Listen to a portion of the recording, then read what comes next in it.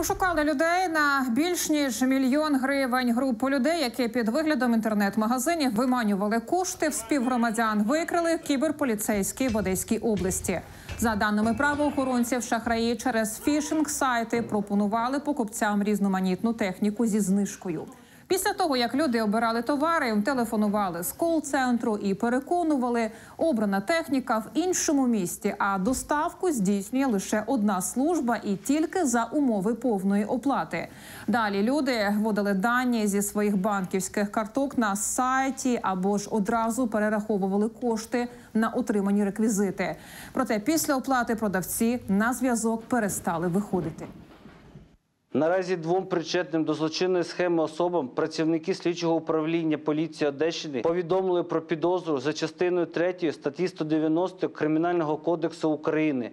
Згідно з чинним законодавством, такі дії караються позбавленням волі від 3 до 8 років.